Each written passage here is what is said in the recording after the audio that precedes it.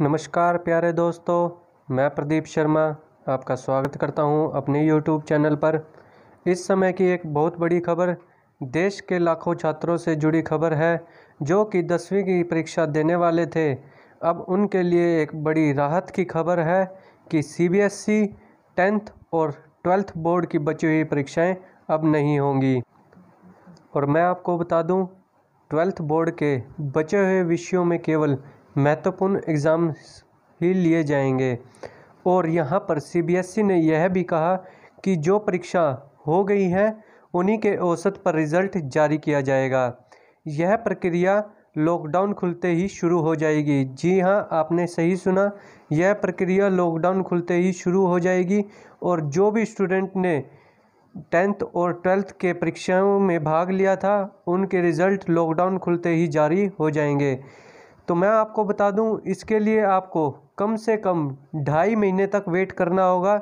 इसलिए मेरी आपसे गुजारिश है, don't be panic, be safe and stay at home.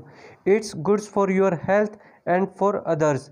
और मैं आपको एक बात और बता दूँ, मानव संसाधन मंत्री ने राज्यों को आदेश दे दिया है कि स्टूडेंट की कॉपी को चेक किया जाए।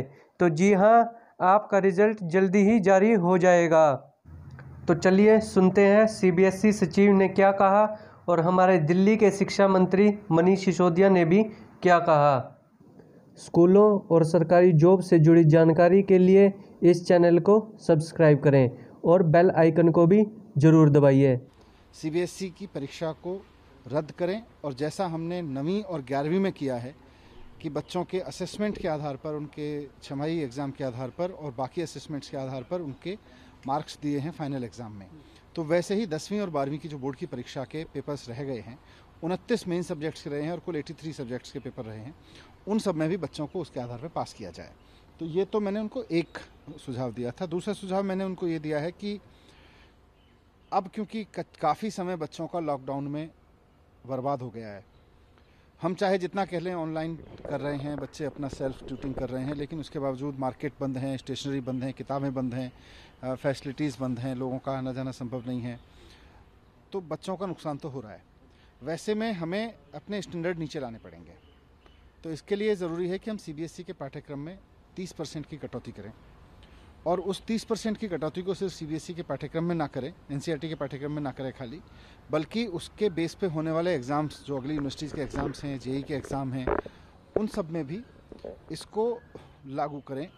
ये मैंने उनको एक सुझाव सीबीएसई के सचिव अनुराग त्रिपाठी जी अनुराग जी पहले तो आपका बहुत बहुत धन्यवाद एबीपी न्यूज़ से बात करने के लिए। अनुराग जी बहुत आशंकाएँ हैं लोगों के मन में खासकर रिजल्ट्स को लेकर। अभी बहुत सी परीक्षाएँ हो चुकी हैं बहुत सी होनी बाकी हैं परीक्षाएँ टेंथ की और ट्वेल्थ की।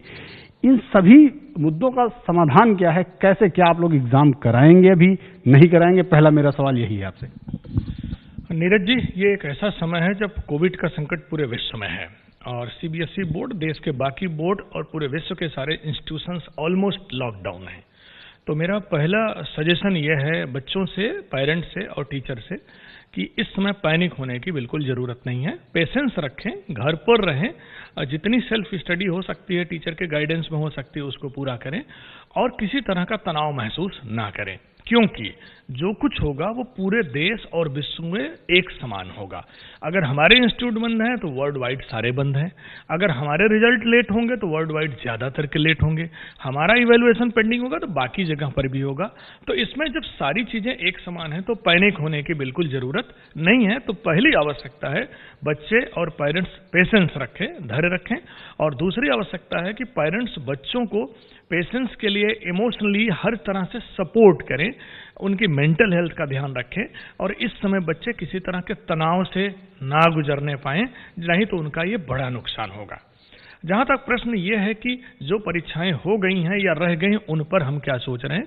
तो आपके चैनल के माध्यम से मैं फिर एक बार ये कहना चाहूँगा कि दसवीं और बारहवीं की ज़्यादातर परीक्षाएँ पूरी हो चुकी हैं।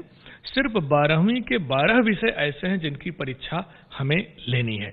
हम लोगों ने फ़र्स्ट अप्रैल को एक डिटेल सर्कुलर निकाला है और उसमें बहुत क्लियर बताया है कि दसवीं की पूरे देश में जो परीक्षा बची हुई थी छोटे छोटे विषय थे, उनकी अब परीक्षा नहीं हो रही।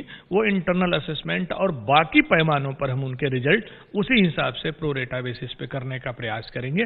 हाँ दसवीं के कुछ बच्चों की परीक्षाएँ नॉर्थ ईस्ट जिला दिल्ली विशेषकर बताना चाहूँगा, नॉर्थ ईस्ट जिला दिल्ली, जिसमें किन्हीं कारणों से ये परीक्षाएँ रह गई थी, वो परीक्षाएँ हम दसवीं की नॉर्थ ईस्ट जिला दिल्ली के लिए ज़रूर लेंगे, क्योंकि वो काफ़ी बच्चे छूट गए थे।